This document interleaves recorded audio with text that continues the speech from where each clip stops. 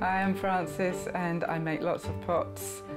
They're all no glaze. They are coiled and emerge organically. Each pot is completely different. I then smoke them, so there's a sort of atmosphericness that the clay takes on, which uh, often looks like a galaxy or a dawn coming up.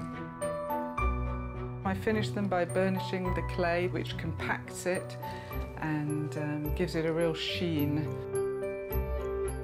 I get excited from the fact that you start off with a lump of clay, a bit of mud, and it ends up turning into really a beautiful form and amazing patterns that are all so different from each other.